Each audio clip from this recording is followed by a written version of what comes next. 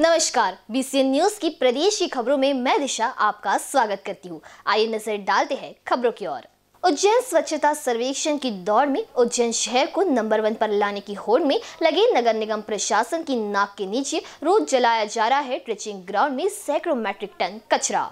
शहर की सफ़ाई व्यवस्थाओं में लगी निजी एजेंसियों व नगर निगम प्रशासन की लापरवाही के चलते शहर से संग्रहित कचरे व सर्जिकल वेस्ट को M R five trenching ground पर किया जा रहा है आग के हवाले। कचरे से उठने वाले जहरीले धुएँ से क्षेत्र के रहवासियों का जीना दुभर हो गया है। शिकायतों के बावजूद जवाबदारों के कान पर जू तक नहीं रेंग रही। उल्लेखनीय है की शहर में प्रतिदिन सैकड़ों मेट्रिक टन कचरा एम आर फाइव रोड व गोंदिया ट्रेचिंग ग्राउंड पर डाला जा रहा है। यह प्रक्रिया काफ़ी लंबे समय से चली आ रही है। एम स्टेट ट्रेचिंग ग्राउंड पर कचरे का निष्पादन करने की जगह उसे आग के हवाले किया जा रहा है। यह कार्य नगर निगम प्रशासन की नाक के नीचे हो रहा है, किंतु प्रदूषण पर नियंत्रण रखने वाले पर्यावरण विभाग द्वारा भी आज तक इस पर कोई कार्रवाई नहीं की गई, जबकि पर्यावरण एक्ट में कचरे को जलाना अपराध की श्रेणी में आता है, जिसमें एक वर्ष की सजा व अर्थदंड का प्रावधान है। M R five trenching ground पर कचरा जलाने के कारण उससे उठने वाले जहरीले धुएँ से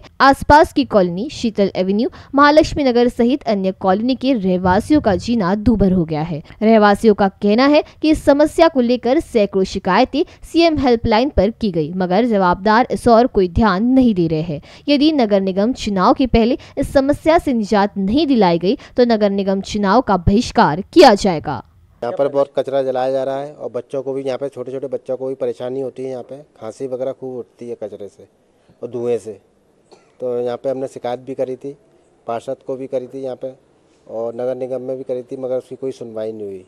बीच में बंद बंद भी कर दिया था जलाना फिर चालू कर दिया इन लोगों ने जलाना। परेशानी ये है कि ये जो कचरा जलाते हैं तो इससे धुआँ बहुत आता है। आप आपके घरों में पूरा हमारे घरों में कचरा हो जा कचरे के जलने से बहुत धुआँ हो जाता है। इससे सफोकेशन होता है और बच्चों को मतलब हमको सबको सांस लेने में दिक्कत होती है। बिल्कुल बुज़ुर्गों को प्रॉब्लम होती है खांसी होती है आँखों में इचिंग होती है।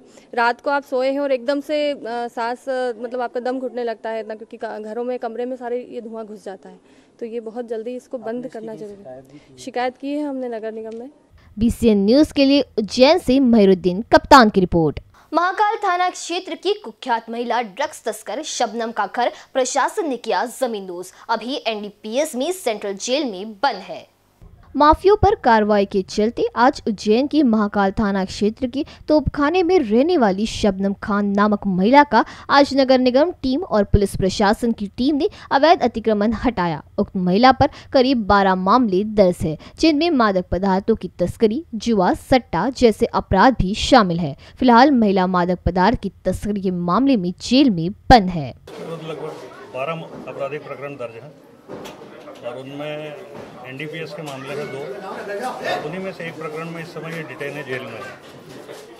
बाकी घर में जुआ खिलाना, उस तरह के प्रकरण भी इसके विरुद्ध हैं। बाकी अन्य अपराध। ये महाकाल थाना अंतर्गत शबनम खान हैं, जो अभी डिटेन है और इनके विरुद्ध लगभग 12 मामले दर्ज हुए हैं, जिसमें मुख्य रूप से जुआ सट्टा और नशीले पदार्थों से संबंधित है।